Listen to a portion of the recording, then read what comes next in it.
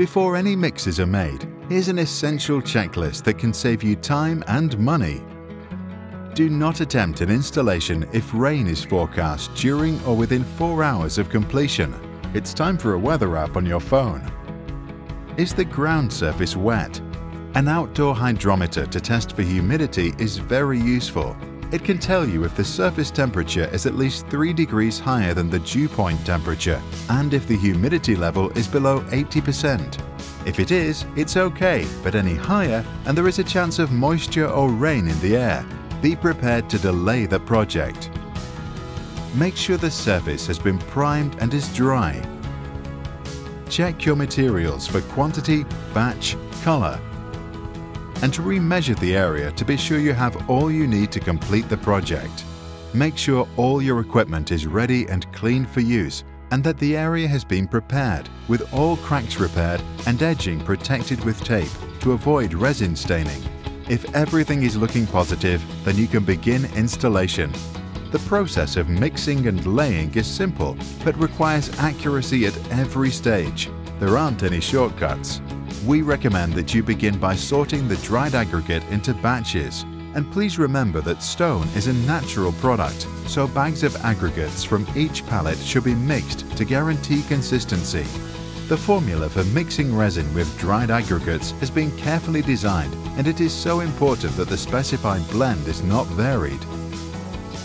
To achieve an optimum strength surface, a resin-bound installation should consist of UV stable resin and hardener 7.5 kilograms, a blend of 75% 2 to 5 mm dried aggregate and 25% 1 to 3 mm stone, that's 4 bags in total.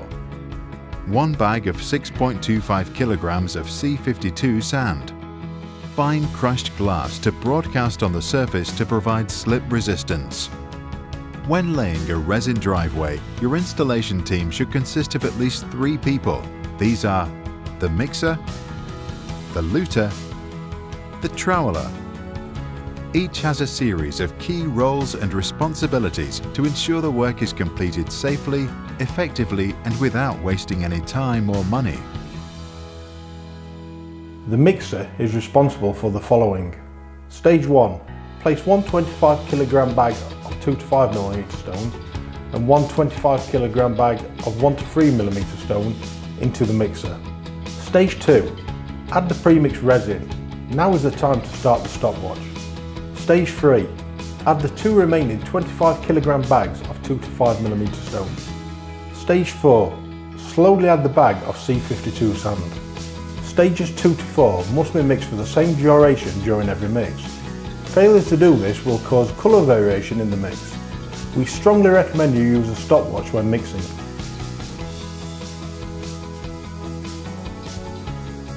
Once the sand has been added, make sure it has been distributed evenly throughout the mix. When ready, empty the mix into your lined barrel.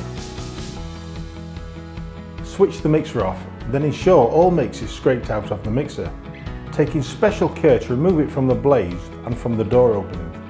The force action mixer needs to be cleaned down after each mix. This avoids the build-up of resin and lengthy cleaning of cured resin at the end of each day.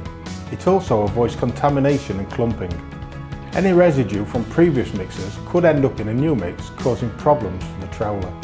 The mixer should be wiped round with white spirit to remove all residue.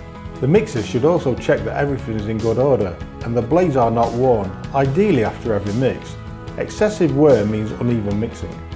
Lightly spray the inside of the mixer with WD-40 when clean. This will stop the resin sticking so much to the mixer.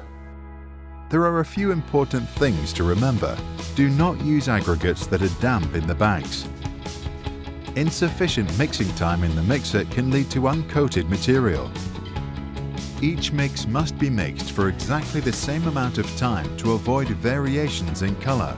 For each batch, make sure the correct blend of aggregates is used. Keep aggregates in the shade if necessary.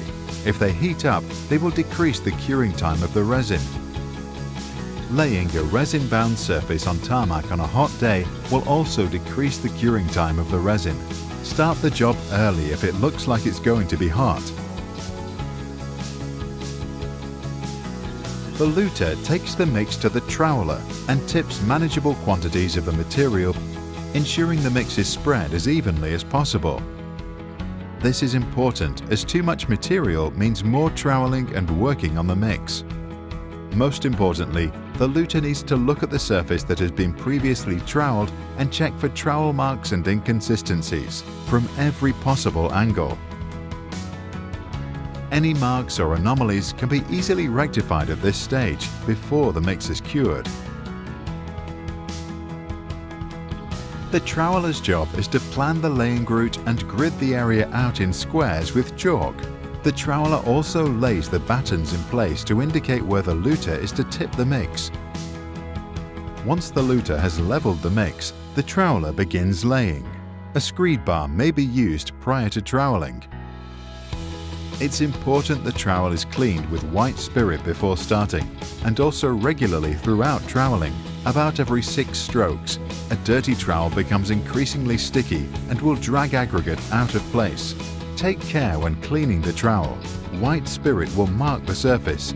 To avoid spillage, always clean in a direction away from yourself and the area you are troweling. Tidy edges make a real difference to the finished result Start by leveling and packing aggregate up close to every edge to ensure there are no gaps. The troweler needs to knit the mix together, making sure the aggregates form a closely compacted, level surface. The trowel should be used with the edge slightly raised away from the stroke. Keep a consistent, light but firm pressure. This will prevent the trowel digging into the mix. The mix should be troweled until the aggregates stop moving in a fluid movement and become solid. All this needs to be done in as few strokes as possible. A quick way to check it is level is to lay your trowel on the surface. This will show up any unwanted undulations.